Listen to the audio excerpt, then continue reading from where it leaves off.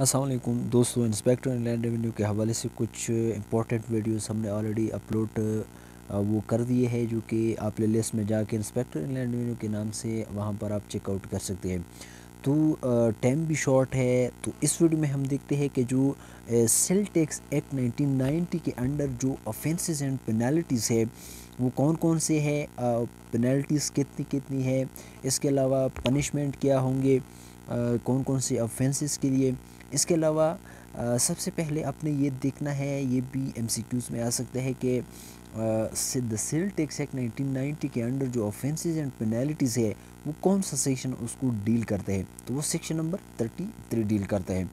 अब सबसे पहले जो हाईएस्ट पेनल्टीज़ वो कौन से हैं? अब सिर्फ़ आपने जो ये यहाँ से लेकर, यहाँ से लेकर, यहाँ तक जो ये ऑफेंस है आपने सिर्फ़ ये याद रखना है, इसके अलावा उसकी जो पेनल्टीज़ है या अगर पनिशमेंट हो, वो आपने सिर्फ़ ये जस्ट याद रखना है।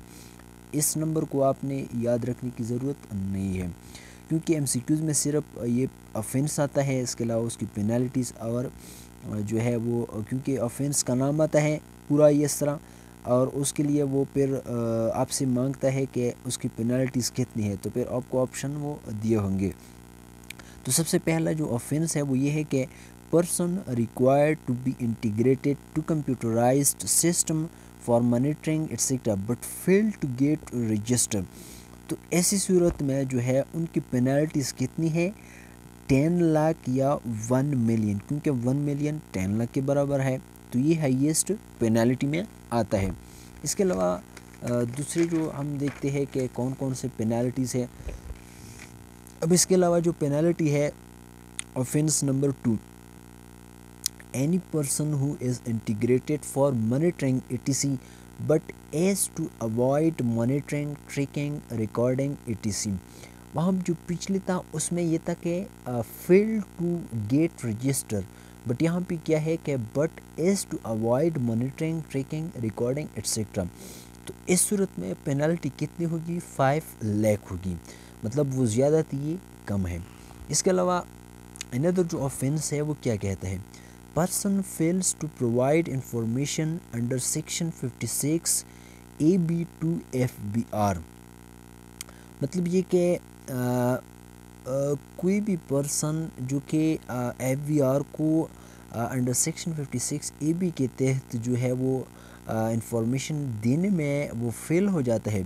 यहाँ पर पर्सन का मतलब सिर्फ़ इंडिविजुअल नहीं है, यहाँ पर कंपनी भी आता है एसोसिएशन भी आता है, वगैरह वगैरह। तो इस सूरत में इन पर पेनल्टी क्या होगी?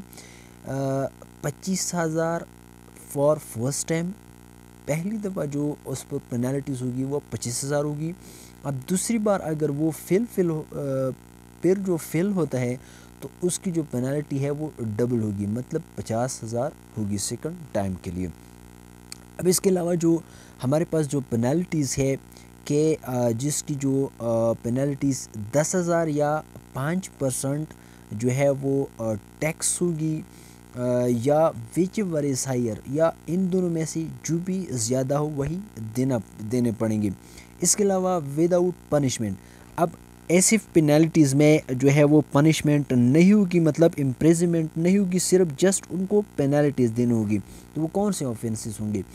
अब यहाँ पर ऑफेंस कौन सा है कि failure to print retail price अगर कोई रिटेल प्राइस प्रिंट करने में मतलब उसको प्रिंट नहीं करवाता रिटेल प्राइस किसी भी गुड्स पर तो ऐसी सूरत में उनकी पेनल्टीज़ कितनी होगी? दस हज़ार या पाँच percent of amount of tax whichever side जो भी ज़्यादा हो इन दोनों में से।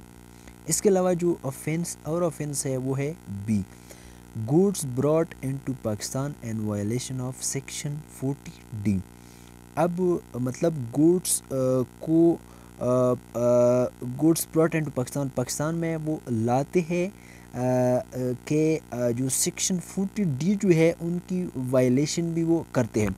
अब सेक्शन फोर्टी डी क्या कहते हैं? सेक्शन फोर्टी डी कहते हैं कि provision relating to goods supplied from tax exempt areas या non tariff area E G Azad Kashmir G B ex FATA etcetera section forty D क्या कहते हैं?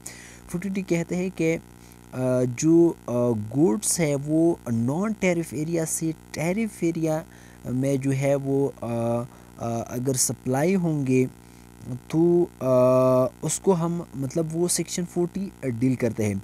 तो ऐसी सूरत में कि जो अगर फोर्टी डी की वायलेशन करते हैं तो इस सूरत में पेनल्टीज़ कितनी होगी? दस हज़ार या पाँच परसेंट वेचेवर इस हायर क्योंकि ये हम यही पेनल्टीज़ की बात करते हैं। अब इन पेनल्टीज़ में यही ऑफेंसेस आते हैं। अब इसके अलावा जो इनदर ऑफेंस है वो क्या है? Any person who unauthorisedly issues tax invoice अब अगर कोई person unauthorisedly tax invoice issue करता है, जो कि उसके पास वो अथॉरिटी नहीं है तो उनको भी यही पेनल्टी देनी होगी। दस हज़ार या पाँच परसेंट ऑफ़ टैक्स इन्वॉल्व या विच एवर इज़ हायर इसके अलावा इन अदर इन पे इस पेनल्टीज़ में जो ऑफेंस आता है वो any person who fails to maintain record अगर कोई पर्सन रिकॉर्ड को मेंटेन करने में फेल होता है तो उसको भी दस हज़ार या पाँच percent whichever is higher ये पेनल्टी देनी होगी। अब इसके अलावा हम इन अदर पेनल्टीज़ की बात करते हैं कि कितनी है? दस हज़ार या पाँच percent of tax whichever is higher with punishment अब पिछले इसमें हमने विदाउट पनिशमेंट की ज़िक्र की थी कि जिसमें पनिशमेंट नहीं थी ऐसे ऑफेंस में। सिर्फ़ दस हज़ार या पाँच परसेंट विच इज़ हायर उसको वो सिर्फ़ पेनल्टी वो देनी होती थी। लेकिन यहाँ पर ये भी है, दस हज़ार या पाँच परसेंट विच इज़ हायर इसके अलावा पनिशमेंट भी साथ साथ वो शामिल है। अब इसमें कौन से ऑफेंसेस आते हैं? कि फेलियर टू रजिस्टर अगर कोई पर्सन अपने आप को रजिस्टर करवाने में फेल होता है, अपने आप को रजिस्टर नहीं करवाता तो इस सूरत में एक तो उनको दस हज़ार या पाँच percent whichever is higher जो भी ज़्यादा हो, वो एक पेनल्टी देनी होगी। इसके साथ साथ उनको पनिशमेंट भी दी जाएगी। कितनी punishment three year three year imprisonment or fine और विद बोथ बाय स्पेशल जज मतलब थ्री ईयर इम्प्रिजनमेंट भी देनी वो उनको होगी। इसके साथ उसको फ़ाइन भी होगा या बोथ होंगे। किसके ज़रिए? स्पेशल जज के ज़रिए। अब इसके अलावा जो इन अदर पेनल्टीज़ है, अब यहाँ पर जो पेनल्टीज़ है इन पेनल्टीज़ में हम देखते हैं कि जो पाँच हज़ार पेनल्टीज़ होगी, साथ ही साथ तीन परसेंट जो है वो टैक्स उनको देना होगा या विच एवर इज़ हायर इन दोनों में से जो भी ज़्यादा होगा, वो उनको देना होगा। लेकिन यहाँ पर विदाउट पनिशमेंट है। यहाँ पर पनिशमेंट नहीं होंगे। अब ऐसे ऑफेंस में कौन कौन से आते हैं? अब ऐसे ऑफेंस में जो आते हैं, उसमें से where no penalty is available if a person contravenes या violations any of provision of this act sale tax 1990 मतलब ये है कि अगर कोई शख्स इस सेल टैक्स एक्ट 1990 की किसी भी प्रोविज़न की वायलेशन करते हैं या कंट्रोवींस करते हैं तो ऐसी सूरत में उनको ये पेनल्टीज़ देनी होगी मतलब उनको पनिशमेंट नहीं देने होंगे। इसके अलावा ये है कि इन अदर जो ऑफेंस है वो क्या है? Failure to make payment prescribed under section 73 of this act तो अगर कोई पेमेंट को देने में फेलियर करता है जो कि under section 73 of this act मतलब सेल टैक्स एक्ट 1990 में प्रिस्क्राइब्ड है तो ऐसी सूरत में भी जो है वो इन, उनको यही पेनल्टी जो है वो देनी होगी। अब सेक्शन 73 क्या कहते हैं? पेमेंट थ्रू बैंकिंग चैनल जो बैंकिंग के ज़रिए जो कोई पेमेंट वो देनी होगी अगर उनमें वो कोई फेलियर करता है तो उनको पाँच हज़ार या तीन परसेंट ऑफ़ टैक्स या जो भी इन दोनों में से ज़्यादा होगा, उनको वो देने होंगे। अब इसके बाद जो इन अदर ऑफेंसेस जो है इसमें से जो और ऑफेंस है, वो ये है कि any act against any notification of board board का मतलब यहाँ पर एफ़ है।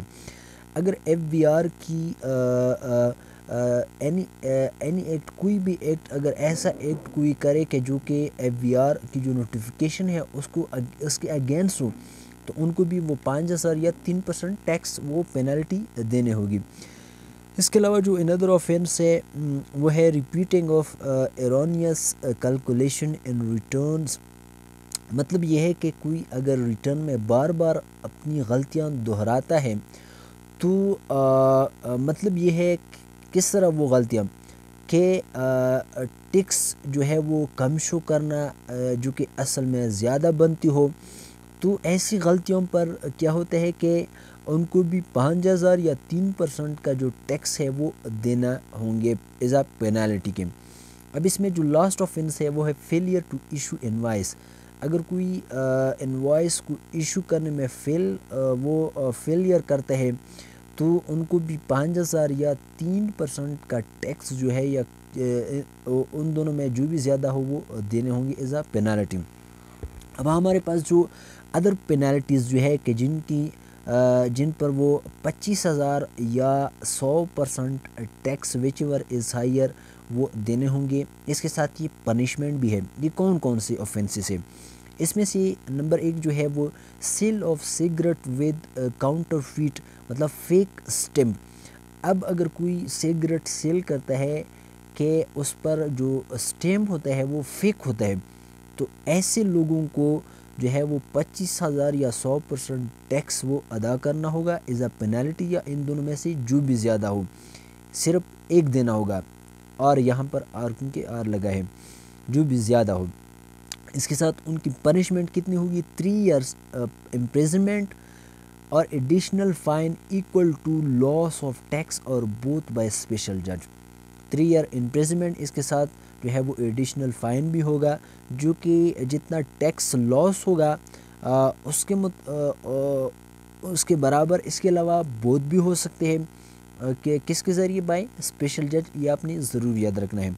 इसमें अनदर ऑफेंस जो है वो है unauthorisedly access to computerise system F अगर एफ़ की जो कंप्यूटराइज सिस्टम है, उन तक अगर कोई अनऑथोराइजली एक्सेस करता है तो उनको ये पेनल्टीज़ भी देनी होगी।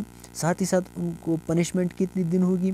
वन ईयर इम्प्रेजमेंट और fine equal to loss of tax और बोथ बाय स्पेशल जज अच्छा इसके अलावा जो अनदर ऑफेंस है, इसमें से any person who submit false और फॉर्ज डॉक्यूमेंट अगर कोई फॉल्स या फॉर्ज डॉक्यूमेंट सबमिट करता है तो उनको भी यही पेनल्टी देनी होगी।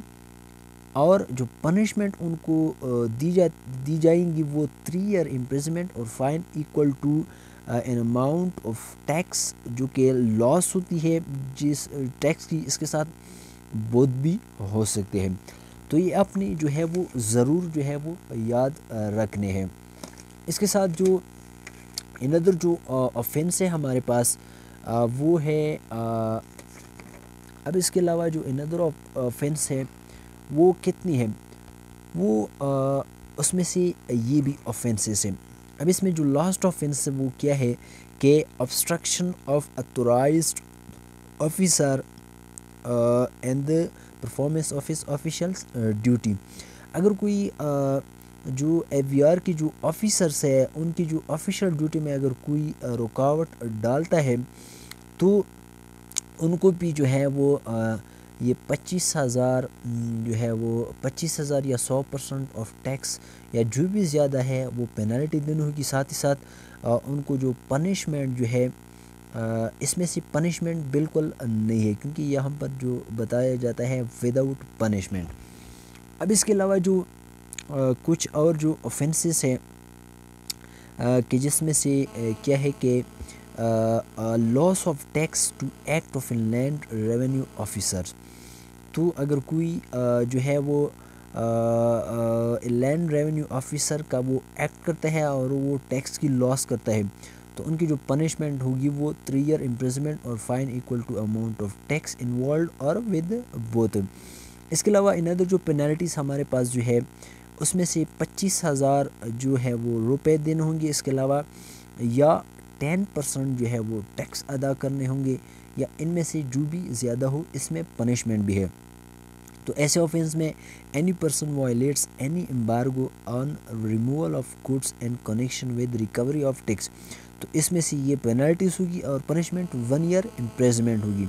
साथ ही साथ जो फाइन होगा equal amount of tax involve और विद बोध इसके अलावा ऐसे पेनल्टीज़ के जिसकी जो है वो आ, इसके अलावा हम बात करते हैं कि जो फाइनली हमारे पास जो कुछ मिसलिनियस जो पेनल्टीज़ है जो कि लास्ट ये पेनल्टीज़ है वो है where any person repeats an offence for which penalty is provided under this act तो उसमें से जो पेनल्टीज होगी, वो ट्वाइस द अमाउंट सपोज़ अगर एक बार ऑफेंस के लिए पाँच हज़ार हो तो अगर वो दूसरी बार वो ऑफेंस दोबारा कमिट करेगा तो फिर उसको दस हज़ार देने होंगे एज आ पेनल्टी इसके अलावा इन अदर ऑफेंस के पर्सन फेल्स टू प्रोड्यूस या provide the information required by F तो उस पर जो पेनल्टी देनी होगी वो दस हज़ार देनी होगी। इसके अलावा अनदर ऑफेंस जो है failure to notify any changes of material nature and the particular of registration of taxable activity तो उस पर पेनल्टी कितनी देनी होगी? पाँच हज़ार देनी होगी। इसके अलावा another offence failure to furnish a return within the due date तो उस पर पेनल्टी देनी होगी दस हज़ार। इसके अलावा जो है यहाँ पर यह है कि कंडीशन है यहाँ पर कि अगर कोई रिटर्न फेल करता है कब? Within ten days of the due date के ड्यू डेट के बाद जो दस दिनों के अंदर अगर कोई अपना रिटर्न फ़ाइल करता है तो उन ड्यू डेट के बाद जितनी भी दिन होंगे, उसके हर, उनके बाद हर दिन की 200 जो एक्स्ट्रा जो फ़ाइन होगा, उनको वो भी देने होंगे। दोस्तों, उम्मीद करता हूँ कि ये वीडियो आपको काफ़ी इन्फॉर्मेटिव होगी तो ये बहुत इंपॉर्टेंट है। आप इसको ज़रूर जो है वो चेकआउट करें, आप उसको रीड आउट करें ताकि आपको जो है वो ये मेमोराइज़ करने में आसानी हो। तो चलिए नेक्स्ट में मिलते हैं। अपना बहुत सारा ख्याल रखिएगा, अपनी दुआ में रखिएगा। अल्लाह हाफिज़।